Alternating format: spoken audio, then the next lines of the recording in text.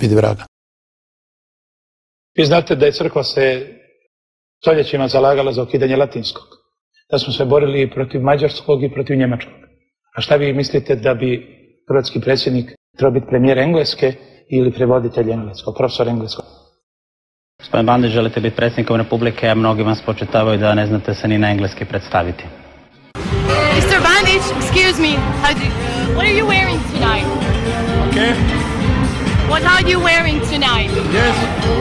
Sorry? Yes. Uh, what are you wearing tonight? Da. Do you understand me?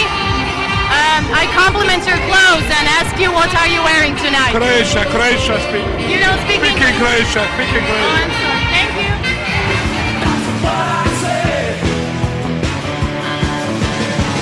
Ja da sam imao prioritet učiti engleski jezik, obilazeći kozari boki puteve, onda bi naučio engleski jezik.